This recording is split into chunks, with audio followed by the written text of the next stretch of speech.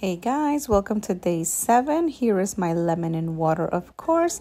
It's supposed to be really hot, okay? So you drink that like a tea. This is actually for my son. He wanted a sandwich with honey and cheese. Um, I don't know why. and since I didn't have any time for breakfast, I had to do a kefir breakfast, which is actually a part of the diet of the 17 day diet. Some days that is what you drink, so that is what it is.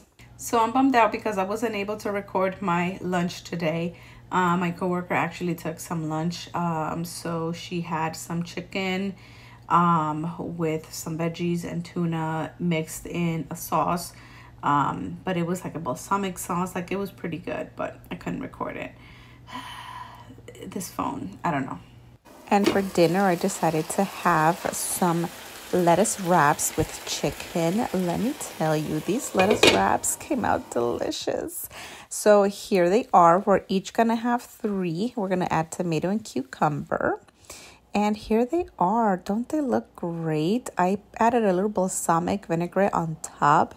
Let me tell you, check out the crunch right now. Yeah, that's me.